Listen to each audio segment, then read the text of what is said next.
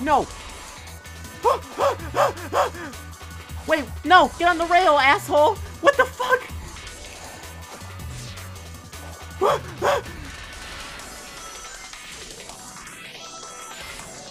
I'm having a panic attack. Okay.